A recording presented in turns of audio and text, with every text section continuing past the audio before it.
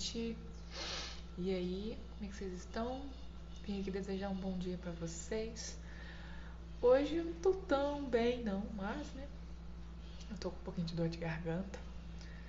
Mas tá bom, gente. Já tomei o meu chazinho de hortelã. E agora eu tô fazendo umas torradinhas aqui, não jogar fora, né? A gente tem que aproveitar, né? Aí tô fazendo aqui Ó, os pãozinhos, cortei aqui, tô fazendo umas torradinhas.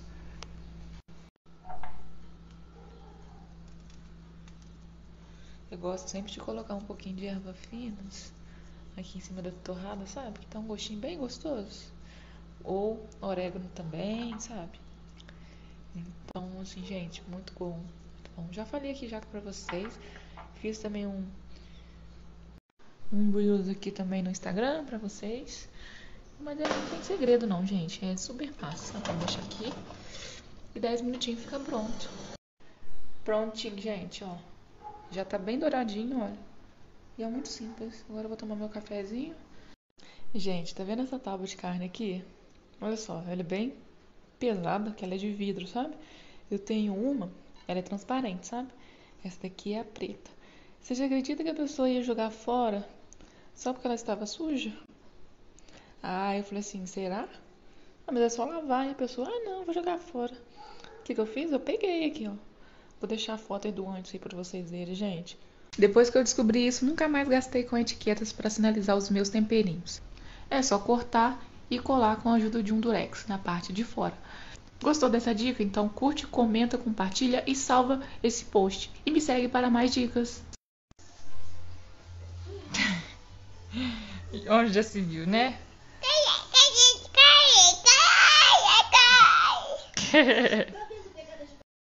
Gente, então, uma seguidora me perguntou, né? Cadê o espelho do banheiro? Pois é, gente, até hoje a gente não tem espelho do banheiro, vocês acreditam? Mas a gente tem espelho aqui da, na, da minha penteadeira, tem esse aqui grandão aqui de corpo inteiro também. Mas eu tô pra fazer esse espelho mesmo, sabe? Eu quero fazer, eu quero fazer ele estilo aqueles que tá na moda agora que tem um cinto em volta, sabe? Então, eu já tenho cinto em volta não, gente, aquele couro, sabe? E aí eu quero dizer que dá pra fazer com cinto em volta, sabe? Fica bem legal. Vou deixar a foto aí pra vocês verem como é que eu quero fazer. E eu já tenho até metade do material, só falta mesmo os, e o espelho mesmo que falta, porque a parte para apoiar o espelho, sabe, eu já tenho. E eu vou usar os materiais recicláveis, né? Vou usar um cinto velho que eu tenho aqui mas assim, tô pra fazer esse vídeo já tem um tempinho já. Só que, gente, acaba aqui, né? As coisas. Mas eu vou me organizar mais e vou gravar pra vocês. Se vocês querem, comenta aqui embaixo se vocês querem ou não, tá? E aqui começou a chover, gente, tá? Chuvarada danada. Vocês estão escutando, né? Então.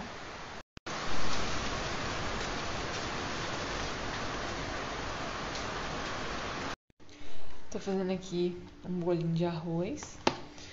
Aí eu coloquei uma xícara de arroz já cozido, é, meia xícara de farinha de trigo, um ovo, vou colocar sal, ainda não coloquei não, coloquei orégano já, vou colocar aqui, gente, essa seleta de legumes junto, sabe, só um pouquinho.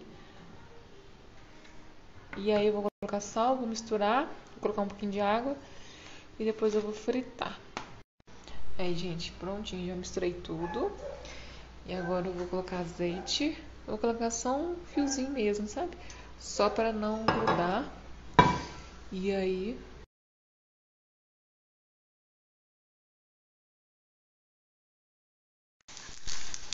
Olha, gente, como é que ele fica, ó. Bem douradinho. Rapidinho, gente, não demora tanto não, tá? O... A dica, né? É vocês deixar eles um pouquinho mais achatado assim, ó, tá vendo? Porque ele não corre o risco de ficar cru, sabe? E aí, ó, tá vendo? Hum. Daqui a pouco tá pronto, tá vendo? Esses aqui são os que eu já tirei, ó. Tá vendo? Rapidinho, ó. E o bom dessa seleta de legumes aqui, ó. Aí aqui tem milho, é...